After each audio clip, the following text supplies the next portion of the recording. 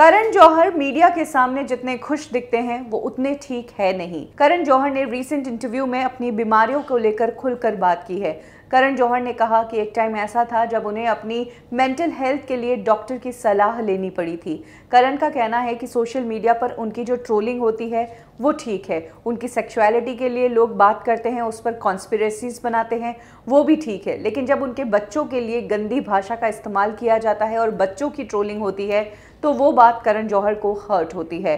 कई बार वो इतने ज़्यादा सेंसिटिव हो जाते हैं इन चीज़ों के कारण कि उन्हें एनजाइटी अटैक आ जाता है। करण ने बताया कि इस एनजाइटी की प्रॉब्लम उन्हें इतनी ज़्यादा हो गई थी कि पाँच साल पहले उन्हें डॉक्टर से सलाह तक लेनी पड़ी थी। जब डॉक्टर से उन्होंने बात की तो डॉक्टर ने कहा कि आप अपने इश्यूज़ के बारे में खुलकर बात कीजिए, अपने लोगों से बात करें और अपने लोगों को बताएँ कि आप किन दिक्कतों का सामना कर रहे हैं। करण जौहर ने कहा कि इसके बाद मैंने सभी से बात करना शुरू किया और वहाँ से मुझे हल्का महसूस होने लगा। हालाँकि अब ये ट्रोलिंग, ये गंदे स्टफ्स मुझे प्रॉब्लम नहीं देते हैं। मैंने इतने सालों में अपने आप को बहुत तैयार किया है और अब एक थिक स्किन मैंने डेवलप कर ली है, जिससे ये ट्रोलर्स या ये नेगेटिविटी मुझे तोड़ नहीं सकती। करण जौहर ने ये जो खुलासा किया है, ये बहुत ही चौंका देने वाला है, क्योंकि जब सुशांत सिंह राजपूत की डेथ हुई थी, तब उनके ऊपर इल्ज़ाम लगे थे कि करण जौहर ऐसे हाल में किसी को ला देते हैं या जिस तरह की ग्रुपिज़म जिस तरह का भेदभाव वो इंडस्ट्री के लोगों के साथ करते हैं उससे कई बार आउटसाइडर्स डिप्रेशन में चले जाते हैं।